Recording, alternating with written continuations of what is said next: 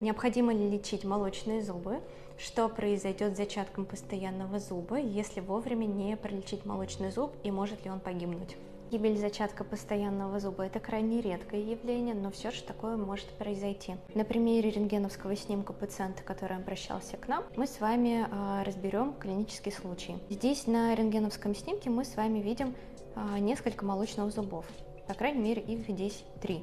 На вот этом молочном зубе мы с вами видим, что здесь сбоку вот эта темнота – это кариозный процесс. Он здесь довольно глубокий, и этот кариозный процесс по корневым каналам он выходит уже за пределы корня зуба, вот сюда, в костную ткань.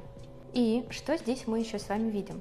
Что у нас есть зачатки постоянных зубов под цифрой 1 и под цифрой 2.